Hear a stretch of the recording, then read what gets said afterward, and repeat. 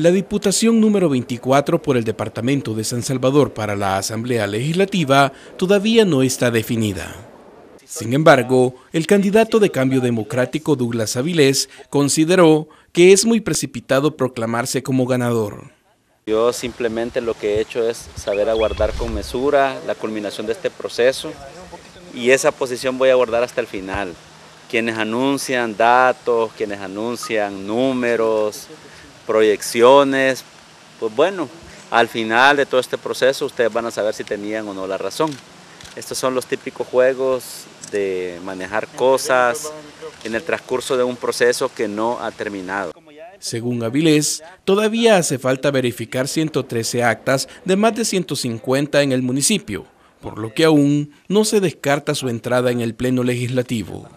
Ni estoy adentro de la Asamblea Legislativa por un periodo, ni estoy afuera decir, no hay nada seguro para nadie a esta hora del día.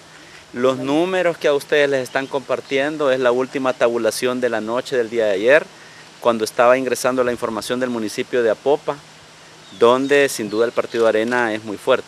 Falta el municipio de San Salvador y Mexicanos, donde el pueblo nos dio mucho apoyo a nosotros como cambio democrático.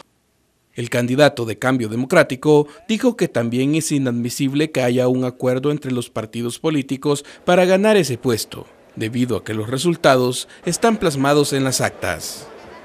Sin embargo, la tarde de este miércoles trascendió que Avilés perdió su diputación, ya que Arena logró la diputación número 11 en el municipio para el general Mauricio Ernesto Vargas. Con imágenes de Josué Lorenzana informó para la Gráfica.com Juan José Portillo.